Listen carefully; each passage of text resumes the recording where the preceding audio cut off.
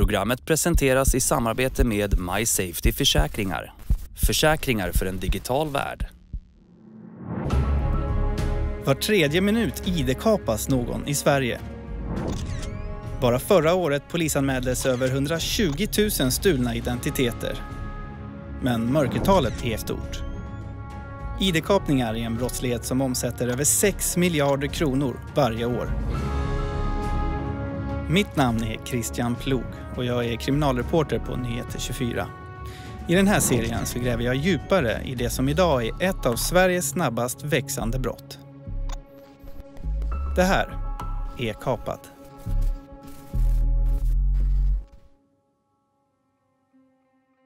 Brottsutredningar kring ID-kapningar har den senaste tiden kritiserats hårt. Polisen har själva utfört en granskning av 700 nedlagda ärenden. Och granskningen visar att en mängd av dessa inte utförts på ett korrekt sätt. Ett misstänkt sånt ärende är fallet Alexander Renman. Han fick för en tid sedan sin identitet stulen.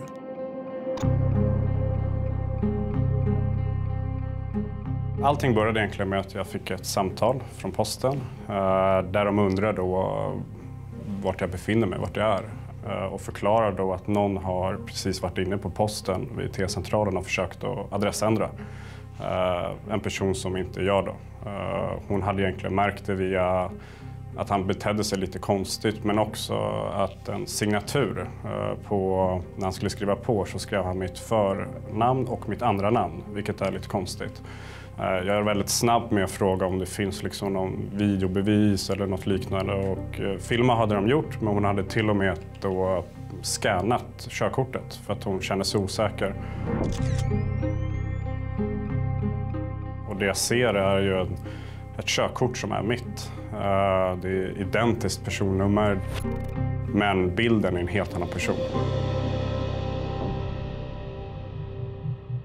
Alexander polisanmäler händelsen och tror att det hela är över. Men det visar sig att det bara är början. Två, tre veckor senare egentligen så får jag min första faktura som jag egentligen inte känner igen. Eh, och det var en rätt saftig faktura också. Det var på nästan 30 000 kronor. Nej, men det gick ju som en kall kår egentligen i ryggen. Man börjar fantisera om vad, hur stor han kan bli. Hur, hur ska jag lösa det här? Vad, vad händer om uh, jag måste betala det nu fast inte jag har gjort någonting? Uh, så jag ringer egentligen uh, polisen igen, gör en polisanmälan. Det jag märker sen efter det, jag får ytterligare en faktura. Och där börjar det nästan bli jobbigare på ett annat sätt. Det, det börjar, du börjar förstå att han, han kommer inte bara göra det här en gång utan han kommer fortsätta använda min identitet i olika lägen. Så det börjar nästan närma sig 100 000 kronor nu som någon har handlat i mitt namn på ett halvår. Efter några dagar så får Alexander ett tips. En anställd på ett av företagen som den misstänkte mannen ska ha beställt saker ifrån har blivit misstänksam och gjort egna efterforskningar. De leder till en Facebook-profil som troligen tillhör förövaren. Det här är ju samma person på körkortet i alla fall. Det ser jag. Eh, och eh, det är ju rätt så skum känsla att kunna se vad han gör. Och han reser och rör på sig. Han har bilder när han är på Grand Hotel och man får tankar när han gjort det med pengar han har tagit från min identitet eller vad som sker. Det är kul att få den eftersom jag har känt att det var väldigt bra bevismaterial egentligen. Att här är han ju, här är ju killen på körkortet. Bevisen som jag egentligen har skickat eh, till polisen eh, det är ju att vi har en bild på förövaren. Vi har fått fram en Facebook. Vi har tagit fram ett personnummer. Så vi vet ålder på personen och vi vet eh, till och med de fyra sista på hans personnummer. Sen då efter egentligen tio månader sedan det första började så lägger de ner fallet då på grund av om det var brist på bevis eller material som de inte hade som de kände kunde gå vidare.